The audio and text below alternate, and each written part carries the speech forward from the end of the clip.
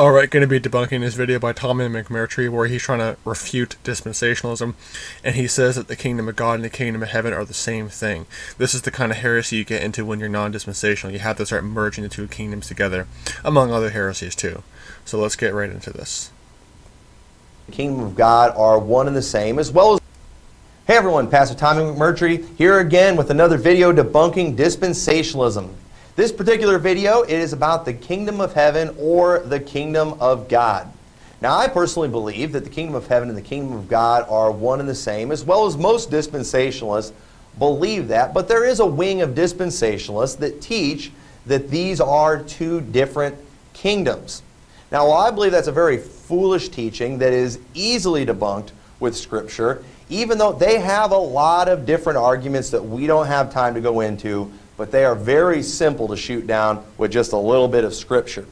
But let me just show you one example out of many examples showing the kingdom of heaven and the kingdom of God are one and the same and that they are used interchangeably in the Bible. In Matthew 4:17 it says, "From that time began to, uh, Jesus began to preach and to say, Repent, for the kingdom of heaven is at hand."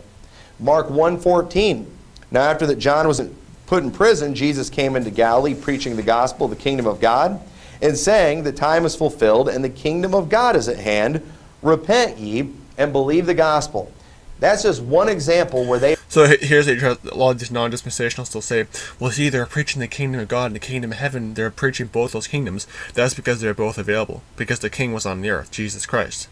But once he leaves, you don't hear anything about the kingdom of heaven anymore. You know, that simple. They are used interchangeably, and that is done many times in the gospel because they are one and the same. Yet there are people who are desperate to separate these two things. And I'm going to tell you there's a reason they are desperate to separate these two things, and that is because it is absolutely necessary if you are going to hang on to a pre trib and a pro Jew position, you have to separate. I mean, this just proves the kind of heresy you get into when you're into a post tribulational rapture. You have to become non dispensational and you have to teach replacement theology. This right here proves it. Separate the kingdoms. Now, I do. I agree with most dispensationalists that it's foolish to do that. That it's very clear that they are one and the same. But yet, I'm going to show you in this video why you either have to separate them or you have to keep them one. The, if you keep them one and the same, it means that your pre-trib position and your pro-Jew position is just dead wrong. There is a reason people are so desperate and will make some of the foolish arguments that they make to claim there are two different kingdoms, just like they claim there are three different gospels. See, dividing the kingdom. Oh, there are the gospel of the kingdom, the gospel of Christ, which is, which is what we preach today, and the everlasting gospel in the time of Jacob's trouble. I mean, who can't who can't figure that out? Who can't see that? Kingdoms is an example of what happens when a person's desperate because you back them into a corner. All right, you, you, can watch the whole thing. He just, you know, he primarily uses Gene Kim and Robert Breaker. These, you know, they're they're they got all kinds of problems, but uh, the kingdom of God and the kingdom of heaven are not the same thing.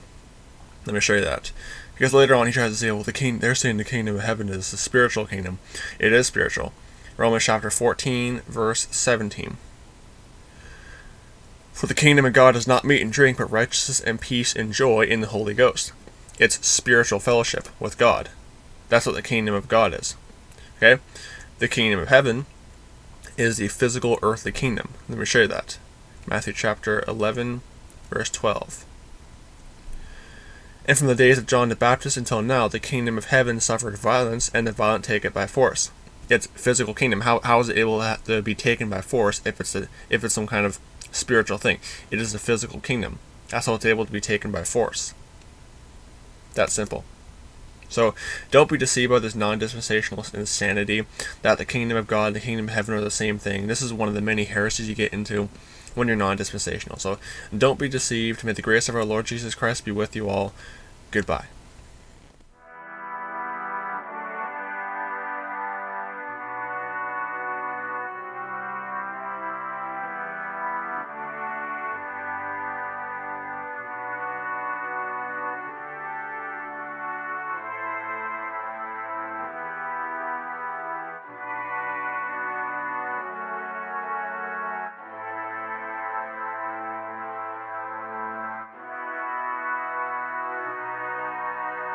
You.